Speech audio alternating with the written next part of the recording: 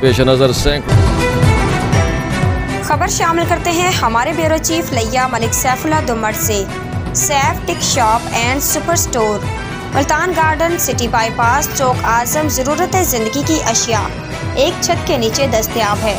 صاف ستھرا ماحول، خوش اخلاق، عملہ۔ ہمارے ہاں چینی چائے پتی، چاول، گھی، بسکٹ، نمکو، چاکلیٹ، ٹافیاں، ببل۔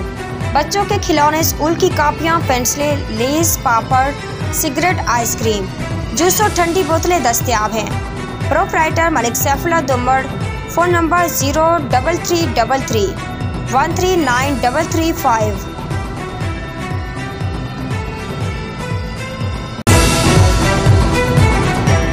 مشہور معروف سنگر آیت شیخ جو کسی تعارف کی محتاج نہیں ان دنوں سوشل میڈیا پر ان کے سانگ پپلان دی چھاوے کے بے شمار چرچے ہیں اور شائقین میں بھی بے حد مقبولیت کا باعث بن رہا ہے۔ آیت شیخ نے کہا کہ یہ سب میرے اللہ تعالیٰ کا کرم اور میرے فینس کا پیار ہے۔ سوشل ورکر عدل شہزاد نے بھی سنگر آیت شیخ کے لیے نیک تمنا اور خواہشات کا اظہار۔ سنگر آیت شیخ کے لیے نیک تمنا اور خواہشات کا اظہار کیا اور کہا کہ آیت شیخ جیسی ٹیلنٹڈ سنگرز مدتوں بعد پیدا ہوتی ہیں۔ پاکستان زندہ باد۔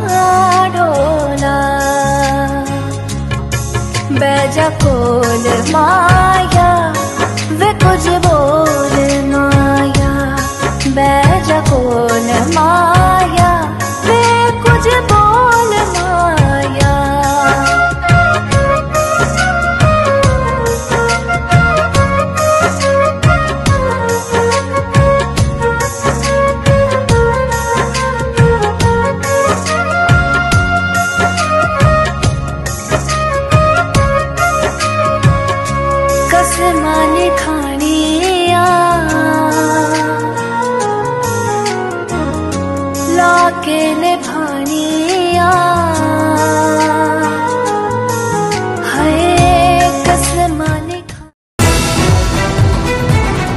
خبر شامل کرتے ہیں بھولوال سے رانا محمد اشرف کی رپورٹ کے مطابق۔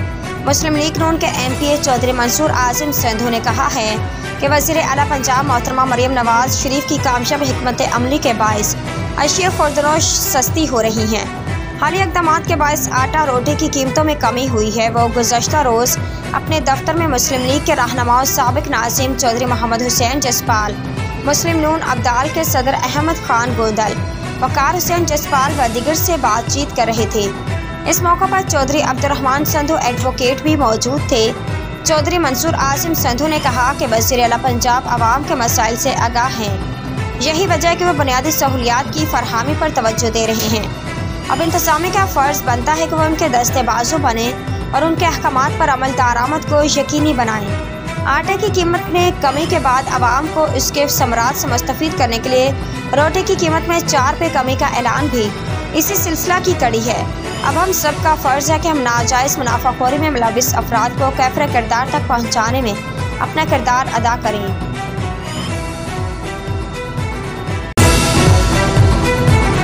خبر شامل کرتے ہیں۔ ضلع لورا لائی تحصیل میختر سے، جہاں پر ہمارے نمائندہ deputy bureau chief Amin Lala کی رپورٹ کے مطابق صوبہ بلوچستان، ضلع لورا لائی تحصیل سپین میختر، جہاں پر ایک خوبصورت جگہ ہے، جو کہ شین ڈگر کے نام سے مشہور ہے۔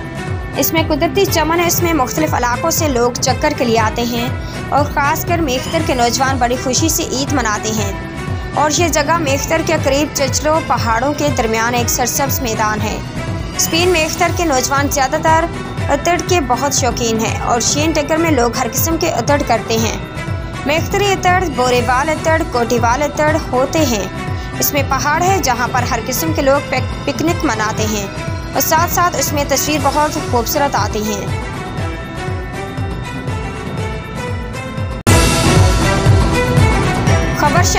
ہیں گنداخا سے کہ جہاں پر سیاسی و سماجی رہنما اور ذمہ دار میر سونا خان جمالی صوبیدارانی دیدار حسین جمالی رضالی جمالی قربان جمالی نے گنداخا پریس کلب میں پاسکو انچارج اوستا محمد کے خلاف پریس کانفرنس کرتے ہوئے کہا کہ پاسکو انچارج اوستا محمد ذمہ داروں کو باردانہ فراہم نہیں کر رہا ہے، جبکہ مل مالکان اور بیوپاریوں کو باردانہ دیا جا رہا ہے، جو کہ ہمارے ساتھ ناانصافی ہے۔